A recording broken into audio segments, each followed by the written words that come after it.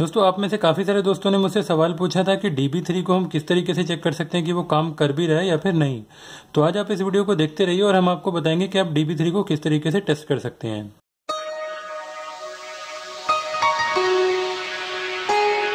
नमस्कार दोस्तों 24 टेक में आपका बहुत बहुत स्वागत है। दोस्तों, जैसा कि आप जानते ही हैं कि DB3 हमारी CFL और इलेक्ट्रॉनिक चौक दोनों का काफ़ी इंपॉर्टेंट कंपोनेंट है। DB3 एक तरीके का जीनियर डायोड होता है, जो कि CFL सर्किट और इलेक्ट्रॉनिक ट्यूबलाइट चौक दोनों में ही स्टार्टर का काम करता है। इलेक्ट्रॉनिक चौक और सीएफएल सर्किट का जो भी इनिशियल ऑस्किलेशन स्टार्ट होता है, वो डीबी थ्री की वजह से ही होता है।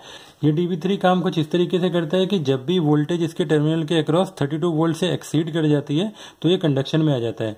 यानी इसके दोनों टर्मिनल के अक्रॉस कंडक्शन स्टार्ट हो जाता है करंट फ्लो होना स्टार्ट हो जाता है। और जैसे ही वोल्टेज थर्टी से कम हो जाती है तो ये दोबारा से नॉन कंडक्टिंग स्टेज में आ जाता है, जिसकी वजह से आपकी ट्यूबलाइट के अंदर इनिशियल ऑस्किलेशन स्टार्ट होता है। और आपकी ट्यूबलाइट ग्लो करना शुरू कर देती है। अक्सर जब भी हम इस डीबी को अपने मल्टीमीटर से चेक करते हैं तो ये कुछ भी नहीं बताता, कोई भी कंडक्शन नहीं बताता। तो इसको कैसे चेक किया जाए, वो हम आपको बताते हैं। सबसे पहले तो आप ये जान लीजिए कि डीबी कई तरीके के आते हैं। मोस्ट ऑफ़ द जो डीबी होते हैं, वो कुछ इस तरीके के आते हैं, जो कांच की तरह के होते हैं। ये लग रहा है यहाँ पे, जहाँ पे डी टू लिखा हुआ है, वो डीबी थ्री है। अगर मैं आपको रोशनी में करके दिखाऊँ तो कुछ इस तरीके से है।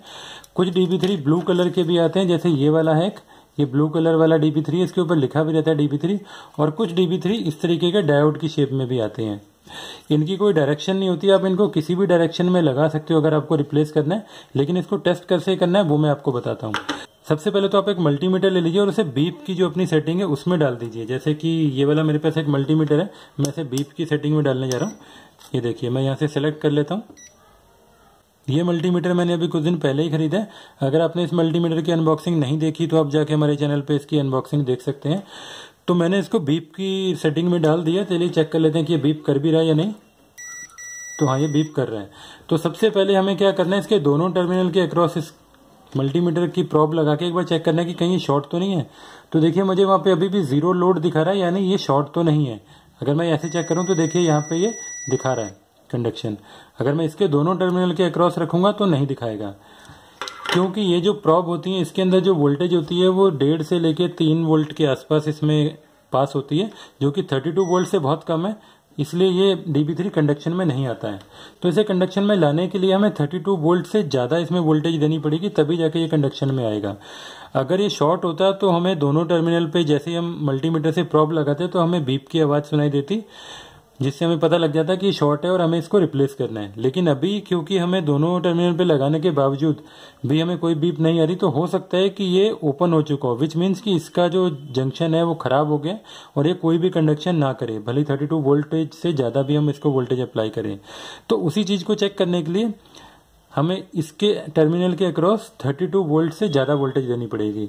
इसका सबसे जो इजी तरीका है, वो है हमारा मेन्स हम उसी को यूज़ कर सकते हैं, क्योंकि आपको पता ही है उसमें 220 के आसपास 220 से लेके 250 के आसपास वोल्टेज आती है, और उसी से हम इसको टेस्ट कर सकते हैं। तो अभी फ़िलहाल के लिए मैं ये सर्किट साइड में रखता हूँ।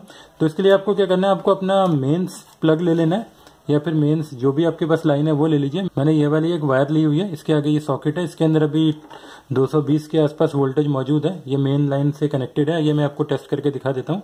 मैं पहले वोल्टेज की सेटिंग में ले जाता हूँ इसको, और यहाँ से मैं एसी सेलेक्ट कर लेता हूँ। तो अभी एसी पे है। तो आप ध्यान रखिए कि आप कोई भी टर्मिनल को अपने हाथ से ना छुएँ। सबसे पहले अपनी सेफ्टी करें, उसके बाद ही कंपोनेंट चेक करना शुरू करें। तो मैं एक यहाँ पे प्रॉब अपनी लगा देता हूँ, और एक दूसरी तरफ़ लगा देता हूँ।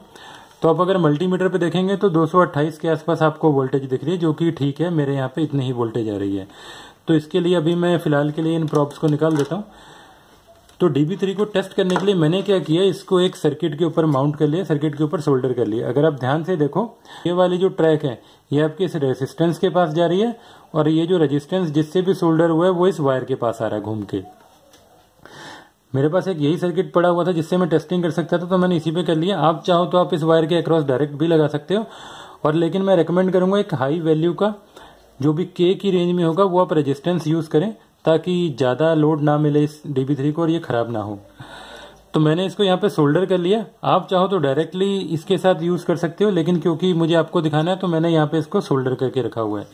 तो इसके लिए मैं एक इसकी जो वायर है, वो मेन्स में डालने जा रहा हूँ। और मैं एक अपने मल्टीमीटर की प्रॉप भी मेंस में डालने जा रहा हूँ। तो अभी यहाँ पे इसमें करंट फ्लो होना शुरू हो गया है। तो सबसे पहले हम चेक करते हैं कि हमारी मेंस की लाइन आ रही है। तो मैं यहाँ पे टेस्ट करता हूँ तो हमें यहाँ पे 220 के आसपास वोल्टेज दिखनी चाहिए। तो 227 के आसपास जो दिख रही है, जो कि ठीक है। अब मैं क्या करता हूँ, इस जो रेजिस्टेंस है, उसके अक्रॉस लगाता हूँ, ताकि हमें पता लग जाए कि वो भी कंडक्ट कर रहे हैं। तो देखिए, वहाँ पे भी 186 के आसपास वोल्टेज आ रही है, क्योंकि ये काफ़ी हाई वैल्यू का रेजिस्टेंस है। ये के की रेंज का रेजिस्टेंस है। ये 220 के का रेजिस्टेंस है, जिसकी वजह से 186 और 187 के बीच में इसके दूसरे टर्मिनल पे वोल्टेज आ रही है। वही वोल्टेज अब इस DB3 के दूसरे टर्मिनल पे आ रही है, जो पहला टर्मिनल है, जो जो मेन से कनेक्टेड है। तो यहाँ पे अगर हम टेस्ट करेंगे, यहाँ पे भी मुझे 187 दिख रही है। अगर इसके दूसरे टर्मिनल पे कनेक्ट करने के बाद हमें वोल्टेज दिखती है तो इसका मतलब ये डीबी थ्री सही है। अगर हमें वोल्टेज नहीं दिखती तो दैट मीन्स कि हमारा ये डीबी थ्री ओपन है विच मीन्स कि इसका जो जंक्शन खराब हो चुका है और ये कोई भी कंडक्शन नहीं कर रहा, अपना काम नहीं कर रहा है। तो चलिए अब टेस्ट करते हैं। अब देखिए मैं इसके दूसरे टर्मिनल पर जैसे ही मल्टीमीटर लगा रहा हूँ तो मुझे 164 के आसपास वोल्टेज दिख रही है, जो कि ठीक है, क्योंकि इसमें कोई वोल्टेज ड्रॉप भी होता है थोड़ा सा क्योंकि आपको पता है कि डायोड के अक्रॉस वोल्टेज ड्रॉप भी होता है, जो कि इस केस में भी हो रहा है। दैट मीन्स कि हमारा जो डीबी थ्री है, वो सही है। अगर हमें यहाँ पे कोई भी वोल्टेज नहीं मिलती, अगर हमें ज़ीरो वोल्टेज मिलती तो हमें समझ लेना चाहिए कि हमारा ये वाला जो डीबी थ्री है वो खराब हो चुका है, इसका जंक्शन खराब हो चुका है। तो चलिए अब मैं इन प्रॉब्स को निकाल देता हूँ। तो इस तरीके से हम अपने डीबी थ्री को चेक कर सकते हैं। आपके जिस, किसी भी अगर सर्किट में लगा हुआ है तो आप उसका एक पोर्शन निकालें, एक साइड वाला टर्मिनल निकालें और उसको अपनी मेन सप्लाई लाइन से लगा के टेस्ट कर सकते हैं। लेकिन आप ध्यान रखिए कि आप इस डीबी थ्री को सीरीज़ के थ्रू चेक ना करें, क्योंकि ये बहुत ही डेलिकेट होता है और ये खराब हो सकता है। तो दोस्तों, ये थी हमारी आज की वीडियो डी थ्री को टेस्ट करने के बारे में। उम्मीद है आपको आज का ये वीडियो पसंद आया होगा। अगर आपको ये वीडियो पसंद आता तो आप इसको लाइक कीजिए शेयर कीजिए और हमारे चैनल को सब्सक्राइब भी कीजिए। वीडियो देखने के लिए बहुत बहुत धन्यवाद। मिलते हैं एक नए वीडियो में एक नए टॉपिक के साथ। Till then have a great day and always keep smiling